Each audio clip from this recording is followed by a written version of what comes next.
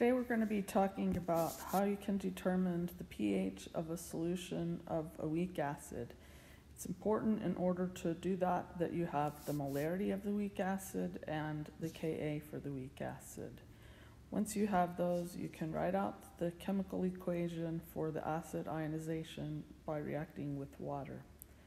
Notice that we have an equilibrium arrow in this reaction.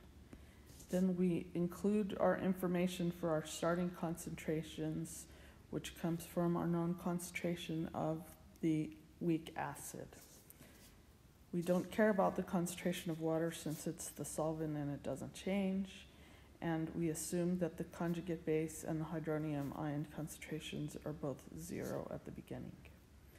Because the conjugate base and the hydronium ion concentrations are both zero, that means the reaction has to go to the right to give us a little bit of conjugate base and hydronium ions. So we have our ice table, and then we can set up our equilibrium expression. Remember, an equilibrium for a weak acid is the conjugate base times hydronium divided by the HA concentration. And then we plug in the numbers that we have, the values that we have from our ice table, and we also set this equal to the Ka value.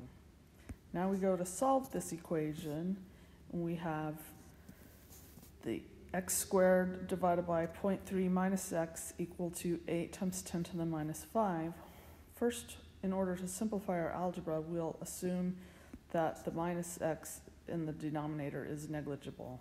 So then we can rewrite this without the minus x in the denominator, and that makes it much easier to solve for x by simplifying our um, values and isolating x squared on one side of the equation and then taking the square root to give us a value of x equal to 5 times 10 to the minus 3, which is equal to our hydronium ion concentration.